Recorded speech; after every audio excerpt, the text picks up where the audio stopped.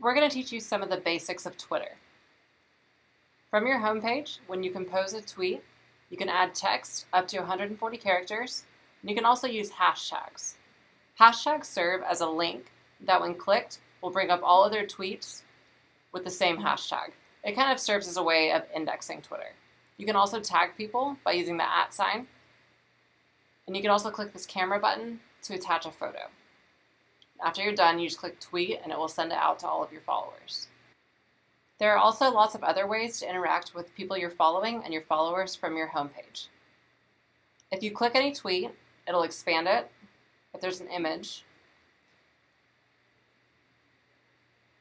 you can also click those two arrows that say retweet, and that will basically rebroadcast a tweet to your followers. You can also click favorite, and that will notify the person that you favorited it. That's a way of kind of bookmarking something either to read later or to say that you liked it.